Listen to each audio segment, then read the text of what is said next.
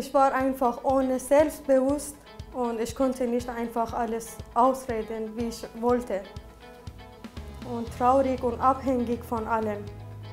Ich habe mehrere Gespräche gehabt und danach war jeden Tag besser und besser.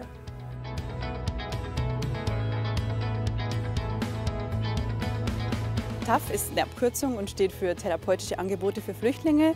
Und letztlich ist das Ziel, dass wir die Versorgung von psychisch erkrankten Geflüchteten verbessern. Zentraler Aspekt ist die psychotherapeutische Versorgung von Geflüchteten im ländlichen Raum.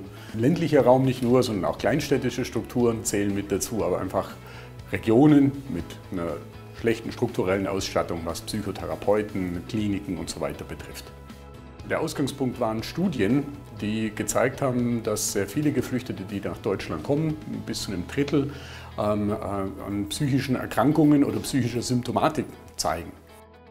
Ich konnte nicht einkaufen alleine, die Schlafen waren sehr schlechte Träume. Äh, ja, das normale Leben war sehr, sehr schlecht. Also ich konnte nichts, ich war so ganz runter Null. Mich freut es ganz persönlich, die Leute zu unterstützen, die solche Schwierigkeiten haben, hier in Deutschland anzukommen. Sie haben ihre Struktur verlassen, sie haben ihre Heimat verlassen. Hier ist alles fremd und wir geben ihnen ein bisschen die Unterstützung, hier anzukommen, hier anzudocken. Ich kenne Leute, die kommen jetzt schon fünf Jahre zu TAF und sind im Leben gewachsen, können jetzt weitere Schritte gehen und wir kennen uns und durch das, dass das ja hier alles so ländlich ist, bleibt es auch immer schön ja, da und, und man trifft sich immer wieder und das macht es so schön. Ich mache jetzt also Hausmeister in Landrat zum Beispiel und ganz normale Arbeit. Äh, mit der Ukraine jetzt bin ich zuständig jetzt, also gerade. Äh, und zufrieden mit dem Leben und kann ich auch alles jetzt schaffen. I've known you guys for two years now and looking back to how I am today, I can say that I have worked a lot on myself and I feel good. Now I'm able to stand on my feet. I'm able to go to school and I'm able to do a lot of things, especially help my son.